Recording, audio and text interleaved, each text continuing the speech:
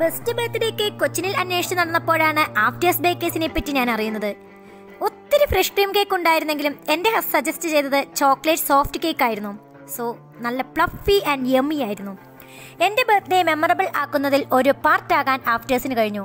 നിങ്ങളും just checkout ചെയ്തിട്ട് നിങ്ങളുടെ എക്സ്പീരിയൻസ് ഷെയർ ചെയ്യുമല്ലോ.